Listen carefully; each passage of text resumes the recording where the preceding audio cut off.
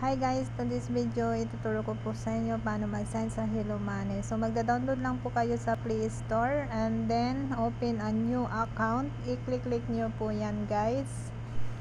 After continue, click nyo po yan. Then, are you a Filipino citizen? Yes. Please make sure that your ID is valid and not expired. So, dito guys, magpipili po kayo ng inyong ID na hawak nyo kung anong mayroon po kayo.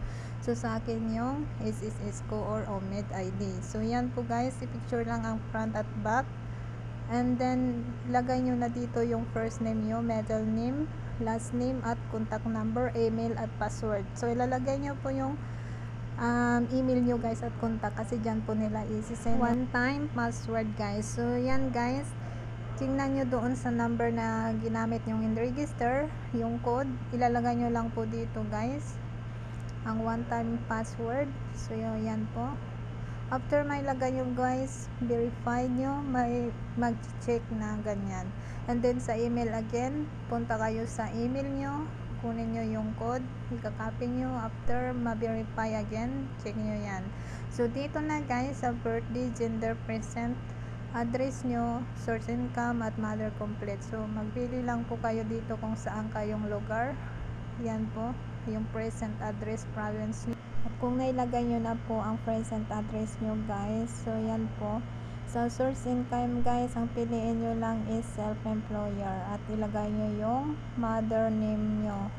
Then, i-next nyo lang, mag, magre-record video po kayo dito.